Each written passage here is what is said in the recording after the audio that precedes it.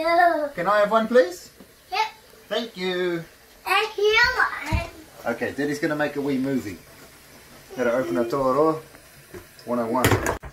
So you got your, your pointy end here, crown there, knife goes in here, there's a tin in here and a tin in here. Pop the first one, down the round, pop the second one. This is just the way I do it anyway. Pull it apart, it all stays there. A little bit of meat in here, just run your knife underneath it. Give it a rinse. This Oreti Beach sand is relentless. To have running water. Well, it helps anyway. You wouldn't want to do this in Auckland. You'd run out of water. Tin them there, tin them there.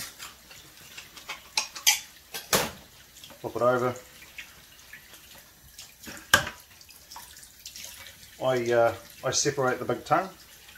give it a pull. And I'll give it a squeeze.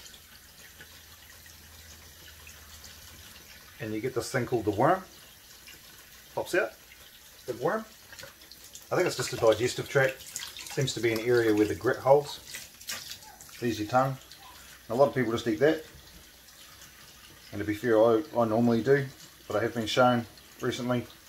I take that skirt off. It holds a bit of grit.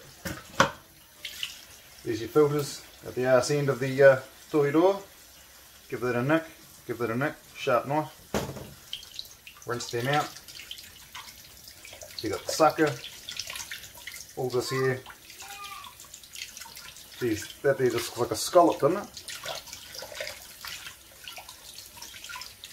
And just water, water, water, rinse, rinse, rinse. Be fussy. No point in having a gravel patty in the bowl. I'm going to chuck, you know, probably two onions to the tin uh, toheroa and uh, just make a wee better. Make some fritters. Beautiful. Cheers for watching.